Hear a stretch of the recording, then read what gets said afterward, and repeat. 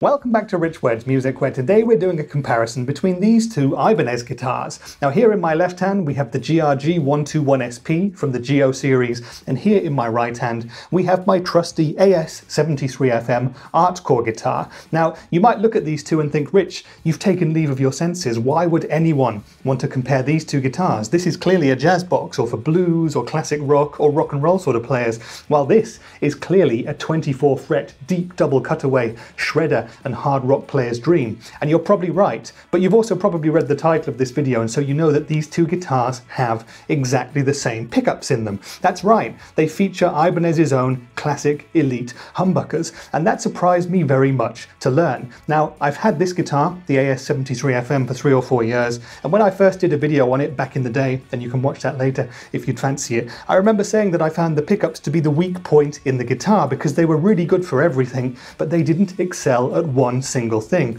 Since then, I've played the guitar extensively, and the pickups are still in the guitar, and that's because, well, they are really good for everything. They might not be the world's best sounding pickup for one single style, but they do pretty much everything very, very well indeed. And this is an extremely versatile guitar. So imagine my surprise when the GRG 121SP from the GIO series came in a few weeks ago to Rich Words Music Towers and it had the same pickups. And just looking at these two guitars, you would never imagine that Ibanez would have put the same humbucking pickups into these two instruments, which are quite clearly designed and marketed towards different styles of guitar players. So how similar are these two guitars going to sound? How different are they going to sound? We know that pickups are an extremely important part of how a guitar sounds, but there are many other specification differences too in this case. I mean, just look at this one here. The AS73FM has a linden body with a flamed maple top. It has a Nyatoh neck and an Indian laurel fingerboard with a 24.57 inch scale length. So it's a very, very traditional sort of a guitar in that way.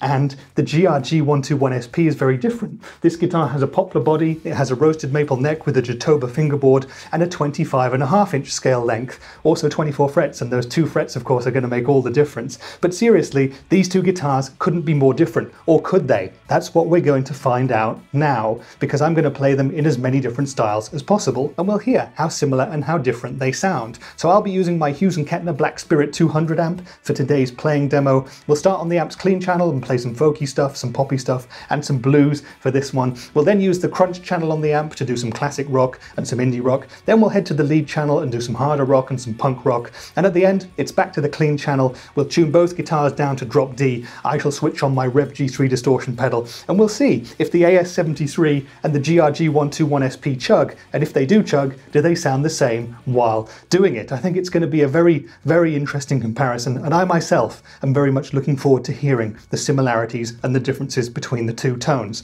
Now, just a couple more things to mention before we get started. Both of these guitars have the same 10 gauge strings fitted. They both have volume and tone controls that measure 500k in terms of resistance. As I've said, the scale length is different on both guitars. And the one other thing to look out for is that the AS73FM has a three-way selector switch, so you've got your traditional neck pickup, bridge pickup, and both pickups on together, while the GRG 121SP has a five-way selector switch. I'm not going to waste time playing the in-between settings in this video, so you can watch my dedicated video on this guitar if you'd like to hear the quackier single coil, split coil sort of tones. Apart from that, I've got the volume and tone controls on full the whole time, so they should be as similar as possible in terms of playing. And now I'm going to stop talking. Let's hear these two guitars in action, and afterwards I'll give you a few more of my opinions about this debate.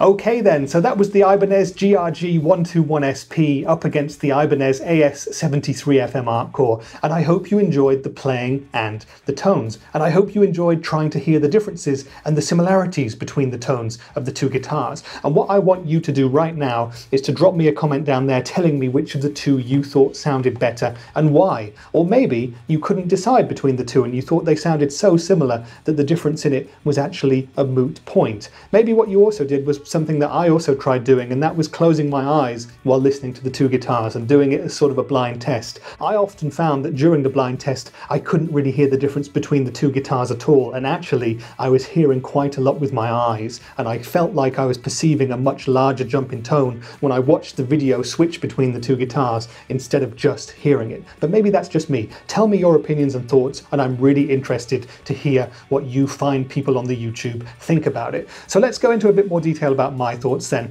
Well, like I said before at the start of the video, I was incredibly surprised to see that Ibanez had put these classic elite humbuckers into two such different guitars. But at the end of the day, having heard them and having played both guitars up against one another and A-B'd them in the way that I have, well, you know what? Actually, these classic Elite humbuckers are so versatile that they can cover pretty much any kind of ground. And I think that these two guitars do, in most circumstances, sound near as enough identical. There are tonal differences in the nuances of them, and there are some examples, particularly the cleaner tones, where I think you do get a bigger difference in tone. But the more you push up the gain and the more you up the compression levels as well, the more close they tend to sound. And I think that speaks volumes about these guitars. And it also suggests that with a guitar like this, you can do anything. And with a guitar like the GRG 121SP, you can do pretty much everything as well. They're fabulously versatile instruments. And I know that looks are also super important, but if you were blind to them, you could play a jazz gig or a metal gig with either one of these guitars and not bat an eyelid. Sure, if you show up at a metal gig with this guitar, people are going to look at you a bit funny. And I think if you showed up at a jazz gig with the GRG 121SP, a couple of people might think,